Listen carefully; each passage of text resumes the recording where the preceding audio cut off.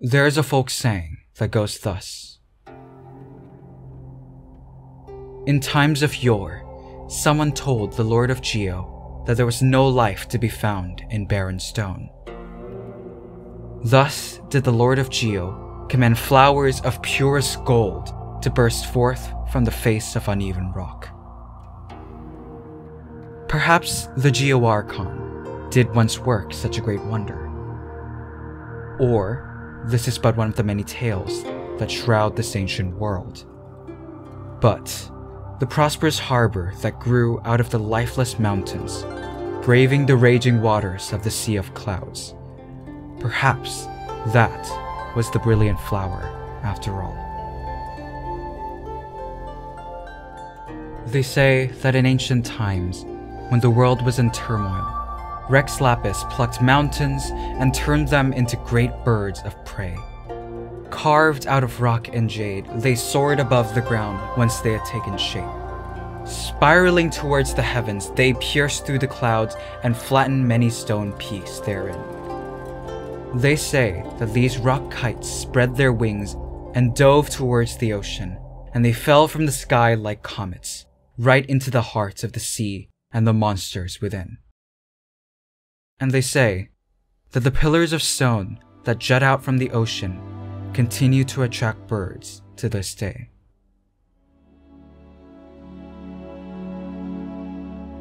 Even rocks that have stood firm for time immemorial will eventually disintegrate over time, crumbling into dust and gravel.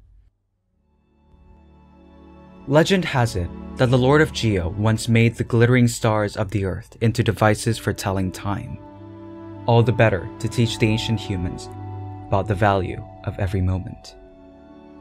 Over time, this sundial came to be the prized possession of Kun Wu, who was then still a scholar in training. When I was young, I dreamed of studying the classics and going to Sumeru to attain the greatest wisdom.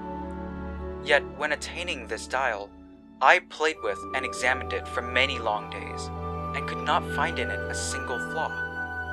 Thus, I changed tacks and sought a master craftsman to learn a new trade, and thereby challenged the creator of this divine tool.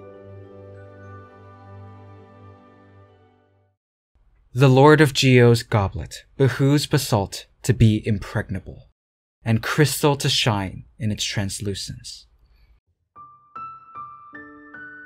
Going incognito among mortals should be likewise, exquisite in its enjoyments. Folk legend holds that to drink wine, Rex Lapis brought forth bedrock and carved jade and lovely stone into a wine vessel for himself. Some even say that there were once seven such vessels. It is said that during the years when gods contended against one another, Rex Lapis's aspect was that of boundless slaughter. In those god eat god battles, one could never have ascribed gentleness to him. He knew right from wrong and never missed his mark. In those days of tumult, he would show no mercy even to friends turned foes. Rex Lapis's stone cold expression never once changed throughout that storied age. They say that only when the dust settled did he lay down that unmovable visage. But it had been necessary, for he had donned it to fulfill a contract. In celebration of my wife's pregnancy, I went to the shrine to give a votive offering. But for reasons unknown, I went up the mountain with these objects a water balloon from when I was seven, a fox mask from when I was 17, and a flower that would not wilt in 10 or even a hundred years. Why did I expect to meet her again?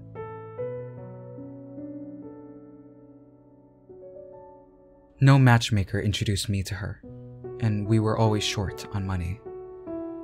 It took some time for us to produce an heir, but our days were still filled with happiness. Were they not? Still, I detoured on that mountain road to the place I'd seen the fireworks with her. As I pulled the branches apart, I thought I saw her dressed in white, sitting upon that rock. But when I came forward and looked, it was just a fox sunbathing. It leaped up at the sound of snapping branches and fled into the woods. And like the spots of light that poke between leaves moved by the breeze, it was gone in a flash.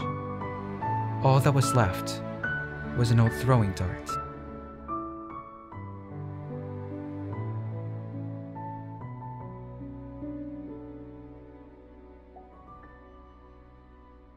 During the summer festival, I was separated from my parents.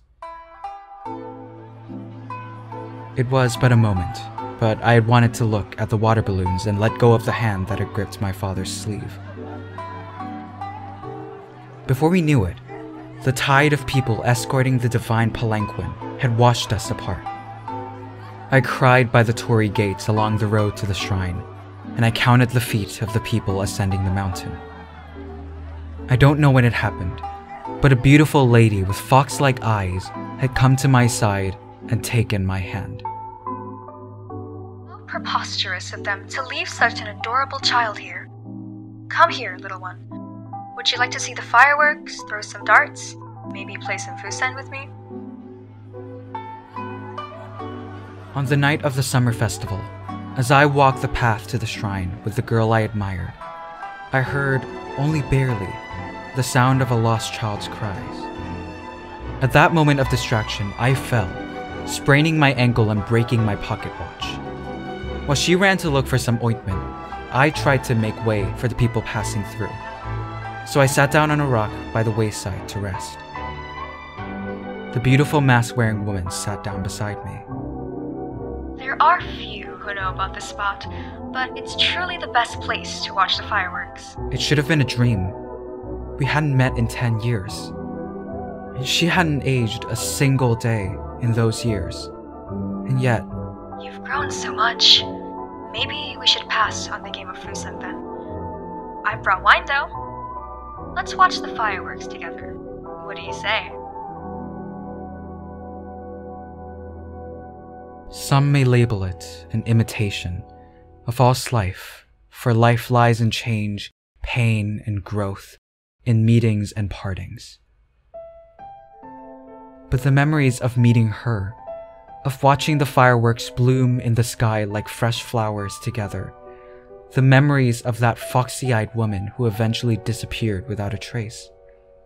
That unwithering flower is the final thing to remember her by. In the end, the difference comes down to the fact that for some, life is as eternal as an undying summer bloom. But for most, it is as transient as a puff of smoke. People will often take on the guise of the fox of legend, covering their faces with masks based on their divine visage, perhaps wishing that they might gain her ability of transformation. In Inazuma's legends, everything has a spirit. But even so, it is likely that most such beings would have long fled, driven into the forest by the suppression of the shogun. But many people still believe in these divine foxes and the ability to be indwelt by them. They believe that thousands of years of age may confer power upon animals. As such, they also believe in what this fox mask represents. A note has been left on the back of this mask, written in a lovely hand. I'm sorry. I have departed under the cover of the fireworks. We will most likely never meet again. Please take care of yourself.